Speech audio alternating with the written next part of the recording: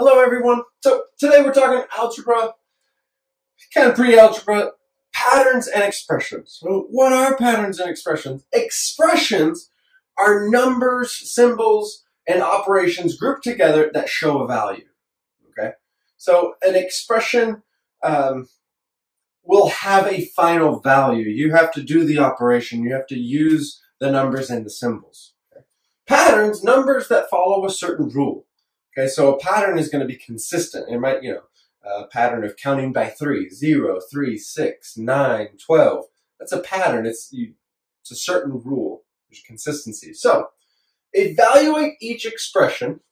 Use n equals four and n equals six. So these are expressions. Okay, well, what does that mean? If n plus five, n is four, four plus five is nine n plus 5, n is 6. Okay, what's 6 plus 5? 6 plus 5 is 11. Okay.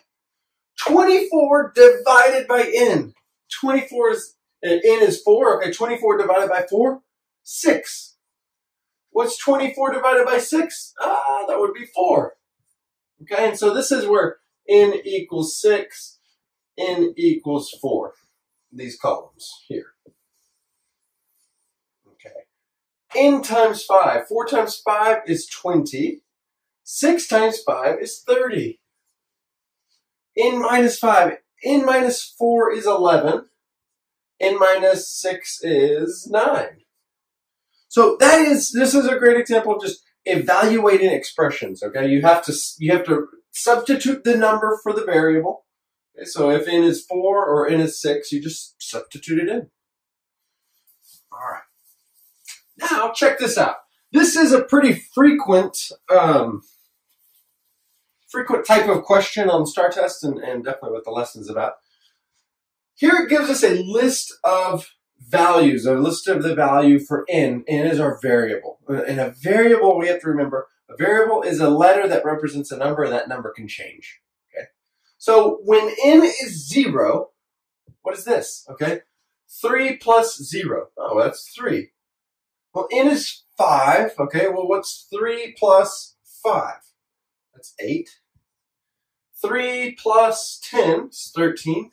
3 plus 15 will be 18.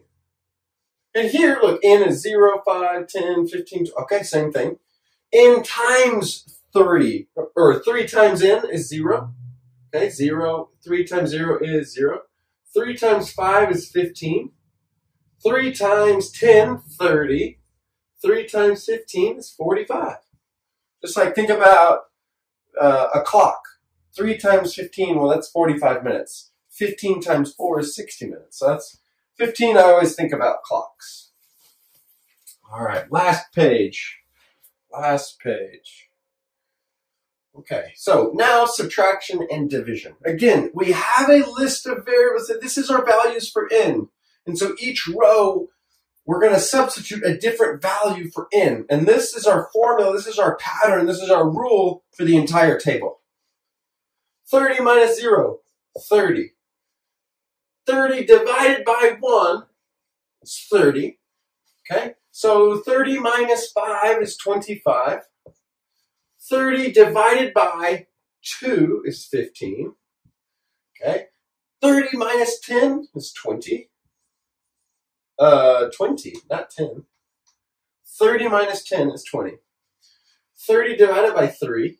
Well, 3 times 10 is 30. And then 30 minus 15, oh, that'd be 15. And then 30 divided by 5, 5 times 6 is 30. So 30 divided by 5 would be 6.